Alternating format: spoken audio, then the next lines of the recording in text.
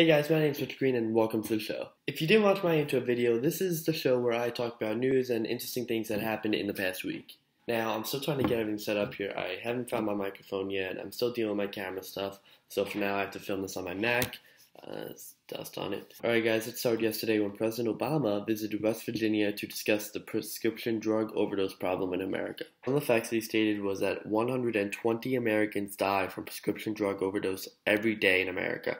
That's more uh, deaths than from car crashes. So thank you, Obama, for finally pointing out one of the biggest issues in America. Next up, the Mets had an awesome game last night, 8 3 against the Cubs. When I got home last night, I turned on the game. It was top of the second inning, and they were already up by four. Last night, Daniel Murphy broke a world record when he hit a two run homer in the eighth inning, which means it was Murphy's seventh home run of this postseason, which also means he is some type of baseball god. Now let's talk about last week in TV. Whole bunch of stuff on last week, including new episodes of Grinder and Grandfathered, but also last Saturday, Amy Schumer took over HBO with her new special, Amy Schumer live at the Apollo. Then the next morning, I was delighted to see Anthony Jeselnik's new special, Thoughts and Prayers, on Netflix. If you like dark humor, he's the perfect comedian for you.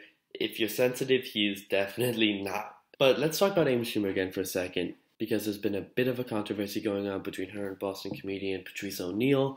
Uh, she was accused of stealing Patrice's jokes. But there's a video comparison online if you want to check that out for yourself. I'll put in the description down below if I can find it again. Hopefully I can. It's out there somewhere. But when I do find it, it'll be down there click it, watch it, tell me what you think. Our final story is YouTube Red.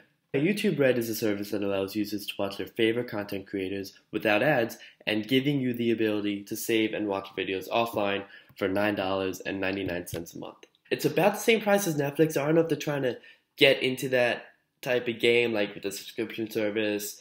Maybe they'll turn into some sort of a Netflix type thing. But anyway, more info about that and everything else I talked about today is in the description down below. Thank you guys so much for watching my first show, and I'll see you guys next week.